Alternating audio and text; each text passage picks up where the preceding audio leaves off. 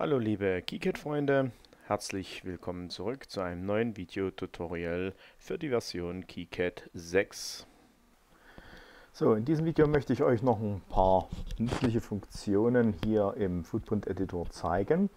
Wir sehen ja jetzt hier, unser Nullpunkt ist hier auf die 1 festgelegt. Sollte es mal nötig sein, dass ich diesen Anker hier verschieben muss, dass ich den also woanders haben möchte, kann ich hier dieses Werkzeug auswählen, Ursprungsanker verlegen. Und ich wähle jetzt mal meinethalben jetzt, äh, nehmen wir mal diesen Punkt hier unten die Mitte. Und ich sage OK und ihr seht, wird also der Mittelpunkt, hier ist unser Nullpunkt vom Koordinatensystem, ihr seht es auch unten vielleicht, naja gut, hier unten in, der, in dem Bereich sehen wir die Koordinaten, also wenn ich hier drauf gehe, sind wir bei 0, 0 und der Footprint wird entsprechend dahin verschoben. Ich gehe wieder zurück, ich möchte das da auf der 1 haben das ist noch eine ganz nützliche Funktion. Wir können dann noch in unserem Footprint äh, Sperrflächen hinzufügen, sollte das nötig sein. Also ich gehe dann auf dieses Werkzeug, kann das dann anklicken, kann jetzt hier sagen, ob ich jetzt hier Innenlagen fernhalten möchte oder auf, auf welche Lagen das überhaupt wirken soll und kann dann hier einstellen, ob hier via, via Leiterbahnen oder wie auch immer ferngehalten werden sollen. Ähm, das ist zum Beispiel bei dem Funkmodul, äh, was ich schon mal vorgestellt hatte, dieses DAA 818 als Schaltplansymbol abgezeichnet hatte, ist das vielleicht ganz gut, hier zum Beispiel die Leiterbahnen fernzuhalten, weil die Fläche unterhalb dieses Funkmoduls äh, ist zum Beispiel eine Kühlfläche. Da sollten ja nicht unbedingt äh, Leiterbahnen oder Vias da unten drunter durchgehen oder sich befinden. Soweit dazu. Dann haben wir diese Funktionen.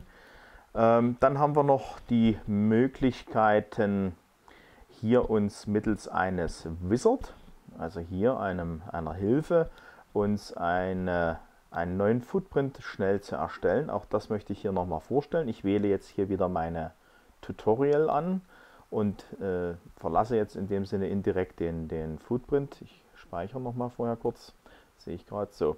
Also ich wähle hier meine, das Vorgehen dazu ist, ich wähle meine gewünschte Library an, die ich, in der ich diesen Footprint mit dem Wizard erstellen will. Ich klicke hier oben auf äh, Footprint neuen Wizard erstellen. Diese, diesen Button finden wir hier oben auch im Menü. Ähm, und ich nehme jetzt hier mal zum Beispiel äh, STIP. Wir sehen, ich kann jetzt hier für verschiedene Footprint oder Package-Typen hier mir automatisch meinen Footprint generieren lassen. Also hier FBC, QFN, SOIC. Und ich nehme jetzt mal hier dieses S-Dip und ich gehe hier drauf und sage OK. Jetzt wird hier so ein Wizard erstellt, oder aus diesem Wizard heraus ein äh, Feld erstellt. Ich mache das hier mal größer oder machen wir es gleich als Vollbild. Ja. So, ich ziehe das hier mal noch ein bisschen zusammen. Wir haben jetzt also hier erstmal die Pads. Da kann ich hier verschiedene Pad-Werte einstellen. Also ich sage, ich möchte jetzt hier nur zum Beispiel nur 8 Pads statt 24 haben.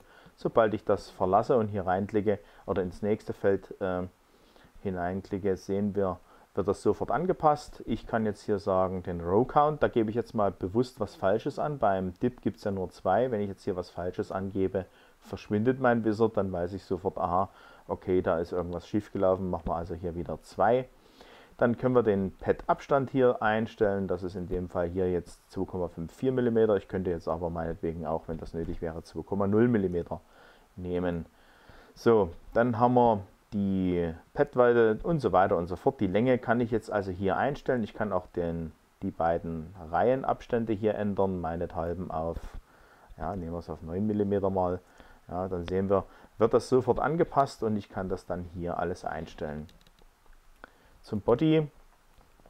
Hier kann ich noch verschiedene Liniendicken einstellen, ähm, ob der Silkscreen Inside ist oder out, Outside sein soll etc. Dann haben wir hier die diese Einstellung soweit vorgenommen und ich kann jetzt hergehen und sagen an den Editor exportieren. Dann taucht der hier drin auf in, meiner, äh, in meinem Footprint Editor. Wenn ich jetzt hier runter gehe, wird er auch schon in der Bibliothek, die ich angewählt hatte, angelegt. Wir sehen das jetzt hier, sind beide, habe ich schon mal einen probehalber hier angelegt gehabt.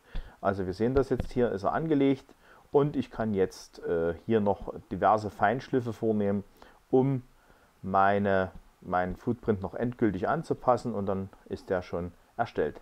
Funktioniert mit solchen Wizards eben nur für diese vorgegebenen ähm, Footprint-Typen, die da, in, wie ihr sie gerade gesehen habt, in dem Auswahldialog. Aber damit kann ich halt sehr schnell und auch äh, hervorragend einen, äh, vor allen Dingen auch äh, syntaktisch oder ja, syntaktisch richtigen und korrekten Footprint erstellen.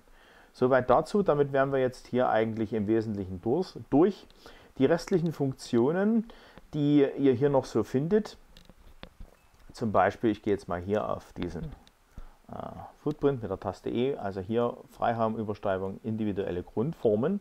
Da könnt ihr mir gerne das, dazu schreiben, ob ich da nochmal eine, äh, ein Video dazu machen soll. Dann gebt mir das in die Kommentare. Ansonsten lasse ich das jetzt hier erstmal weg. Ihr könnt auf alle Fälle mit dem Footprint Editor jetzt eure, Foot, eure eigenen Footprints erstellen.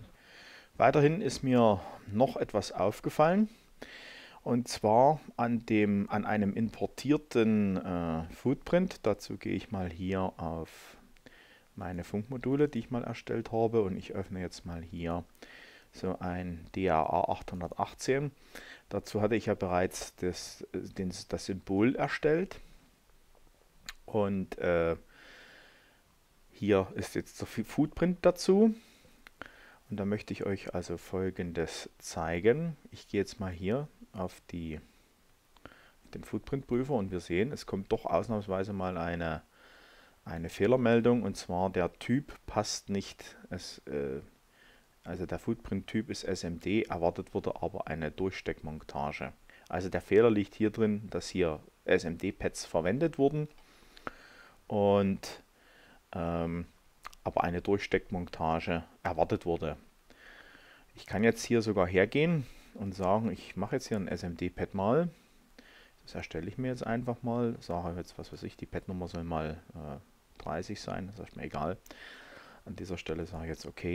Und jetzt möchte ich mal so ein Pad einfügen. Und wir sehen, es ist nicht dieses Pad. Ja, es ist also kein SMD-Pad, sondern das ist ein äh, Durchsteckmontage-Pad.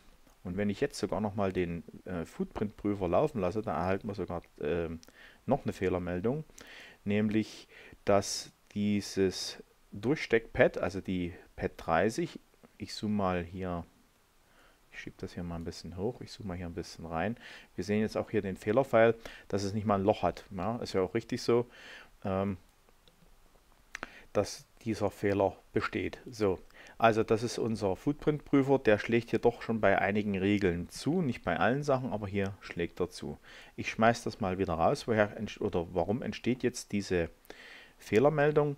Diese Fehlermeldung entsteht jetzt dadurch, da muss ich mal hier auf die Pad-Eigenschaften gehen, das war halt früher im KiCad 5 so nicht vorgesehen, sondern äh, das ist jetzt erst neu im KiCad 6. Wir haben jetzt hier den Bauteiltyp und hier kann ich den Bauteiltyp auswählen. Und der steht standardmäßig durch die Importierung auf Durchsteckmontage.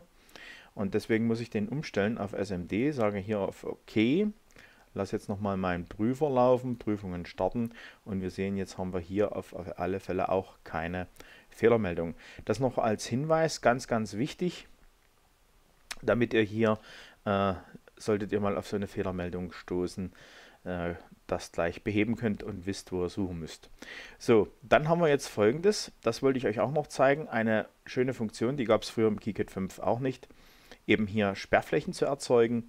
Unter diesem Funkmodul, das wird ja warm, ist jetzt halt die Problematik, möchte ich eine Sperrfläche haben, dass mein Autorouter zum Beispiel oder irgendwelche anderen äh, Programme jetzt hier nicht irgendwas positionieren und ich will auch selber nicht den Fehler machen, hier vielleicht eine Leiterbahn durchzuführen. Und deswegen kann ich jetzt hierher gehen und mir so eine Sperrfläche erzeugen.